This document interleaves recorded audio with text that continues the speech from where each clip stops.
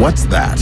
A toaster. How can you not know this, you might think? But maybe in thousands of years, people will forget the answer to this simple question because they won't use toasters anymore.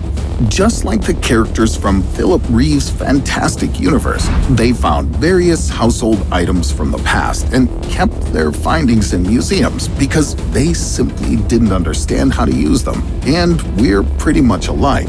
Our museums are also filled with unexplainable things from different eras. Many of them were obviously invented ahead of their time and must have been created with particular technology or knowledge. Scientists call them out of place artifacts. Let's find out how they appeared, who tried to create the first ever version of Hubble, and who developed the ancient computer. And finally, can we figure out the purpose of ancient technology?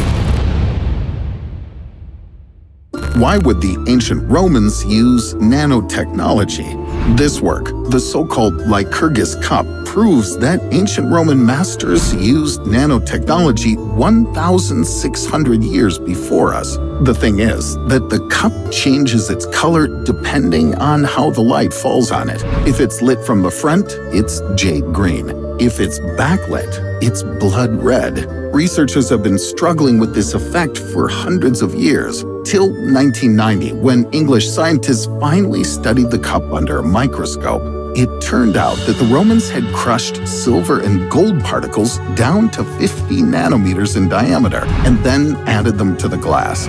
When light hits the particles, the electrons in them vibrate in such a way that they change color. Some believe that this effect was achieved by accident. However, ancient people knew about physics more than we think. For example, the Indian scientist Acharya Kanad knew about atoms even before our era. He explained that a grain of rice could be broken down to such an extent that it could no longer go further. So, the ancient Romans might have used their technology for a reason. Maybe with the help of the cup, the nobles searched for the most honest among their subjects. A king showed the cup that was red from his side and waited. Who among those present would dare to disagree and tell the truth that the cup was green? After all, it was indeed green from the observer's point of view. Anyway, the Romans weren't the only ones who used glass to confuse everyone. Why did the ancient Assyrians make lenses? This piece of rock crystal was found in 1850 in the city of Nimrud in present-day Iraq. The Nimrud lens was created about 3,000 years ago. It was roughly ground, perhaps even using a grinding wheel. The Italian scholar Giovanni Pettinato supposed that the ancient Assyrians used the Nimrud lens as part of a telescope that could explain their knowledge of space bodies back in the day. According to Pettinato, the ancient Assyrians saw the rings of Saturn through a telescope and thus portrayed him as a god surrounded by snakes. Similar lenses were probably used by other nations. This is Bhaskaracharya. He was an Indian astronomer and mathematician who lived in the 12th century AD. The scientists somehow made exact calculations and found out that it takes a little more than 365 days for Earth to fully rotate around the Sun. However, most experts don't believe that he used a telescope for that, as such devices aren't mentioned in any of the astronomical writings that have survived to this day. And I would agree with that. I think ancient people would try to invent something cooler. Since they observed, studied, and recorded a lot, they needed something to help them, like a computer. And that's how they started inventing it, though they began not from the engine, but from the crystal screen.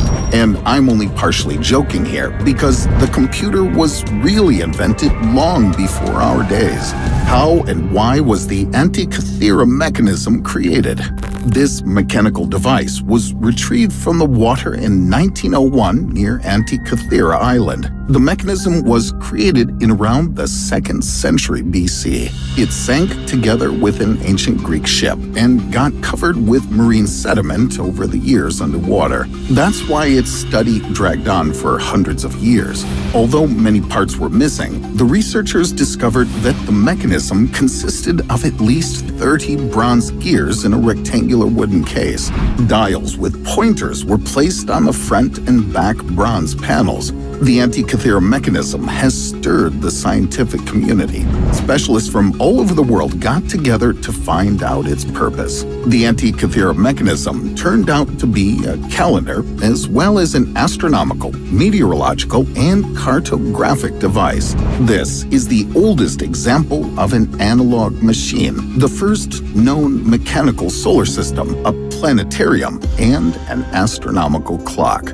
Yup, overall, it's just an ancient computer. With its help, the ancient Greeks predicted the position of the sun, the phases of the moon, calculated solar and lunar eclipses, and the dates of the most important Greek games and festivals. Since there was a computer, there also must have been ancient Greek IT specialists. Apparently, the statement that all developers are the sons of gods dates back to the ancient world. Anyway, the Antikythera mechanism proves that ancient people were interested in space. They wanted to learn as much as they could, and perhaps even travel beyond the atmosphere. After all, they were also the first to invent aircraft. How and why was the Indian flying machine created? Ancient Indian writings often mention the so-called Vimanas, aircraft that helped people see Earth from above.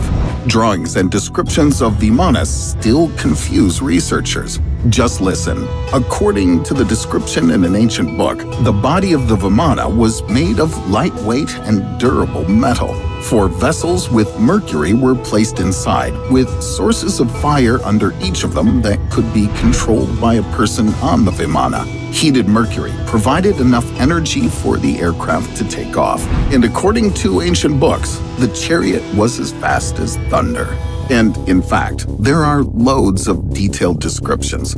Although many people believe that Vimanas are a hoax, there is a possibility that they really existed, or at least that ancient people tried to create them. Vimanas could help in trade, or even war. According to some writings, those boiling furnaces with mercury were so noisy that they were used to scare away war elephants. But personally, I think Vimanas were built for a different reason. Wanted to meet the gods, count them, and figure out the fictional and the real ones to slightly reduce their number. Alas, apparently they failed, because there are no less than 300 million deities in Hinduism today. Many of the things surrounding us may also become weird findings retrieved from the underground one day. The world is developing too fast, and here's the proof. Some members of Generation Z really don't get why the call icon on smartphones looks like this. For them, that's just an image, because they never used wired telephones, and moreover, they never really got to see them. Which modern devices do you think future scientists won't be able to explain? Also, check out my other videos, like this one, where I dive into what human civilization would develop into in the nearest future if we were to follow the theories of the famous Soviet scientist and futurist Nikolai Kardashev.